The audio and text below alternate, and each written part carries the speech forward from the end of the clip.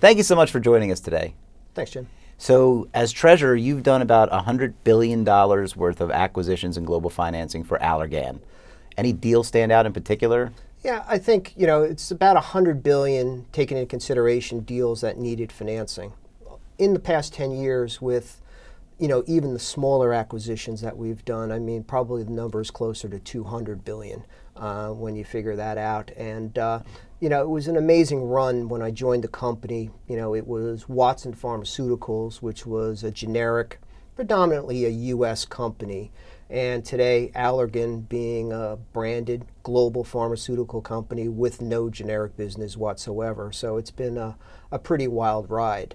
Uh, the first major acquisition that we did was when Watson acquired Actavis, and that was in November of 2012. And uh, we actually closed that deal during Hurricane Sandy was going on, but we were able to get that transaction closed. But you know, to your question, you know, the one thing, you know, when we worked on the Actavis deal, you know, we probably worked on that deal for about a year's time.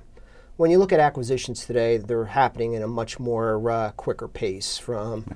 Identification, doing deal, due diligence, making a bid, and closing that transaction. It seems like the timelines have been certainly compressed these days.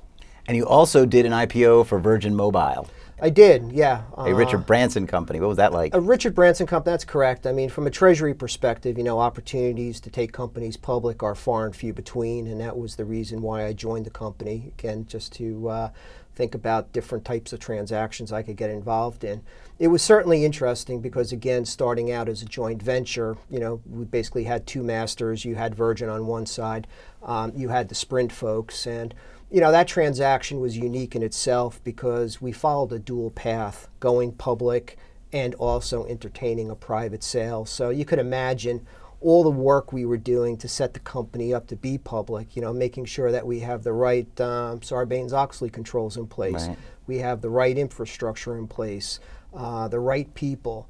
Um, you know, so working on that, working on the drafts of the S1, getting that filed, and typically with an IPO, once you get that first draft filed, you know, you have about a month or so before the SEC comes back with comments.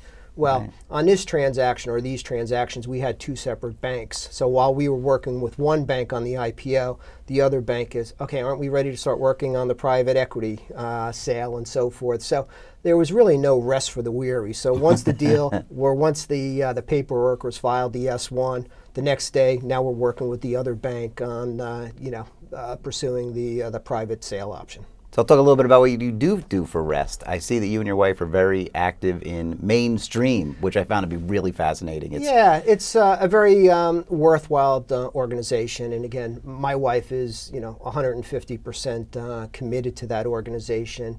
It's an equine assisted uh, therapy center, so it's really about improving the quality of quality of life for people who uh, may be challenged from a medical disability, emotional, or developmental um, uh, perspective challenged. And, you know, the programs involve horses, so equine assisted, therapy programs as well as educational. So, you know, my wife has been fortunate enough that she didn't have to work, um, you know, just because of my career. Um, but you know, she started volunteering because she wanted to be around horses. She grew up in the city. She was taking horseback riding lessons. This gave her an opportunity to, you know, be around horses. One thing led to another. It's okay. You're volunteering a couple of days. now we're having fundraisers. You're working on committees, whether it's silent auctions. Now you're working on events. Hey, by the way, do you want to be uh, on the board of directors? Starting out as assistant secretary, secretary and uh, this year, or last year and this year, she is now president of uh, Mane Stream. So um, you know, it's it's a great organization, and you see yeah, how folks like going through and how they develop over the ages, and it's it's remarkable, you know, using horses as part of therapy. Yeah, it, it sounded really unique. Yes. It just popped out when I saw that. Well, yeah. thank you so much for being here today. Great. really appreciate Jim, it. I appreciate it. Thank you.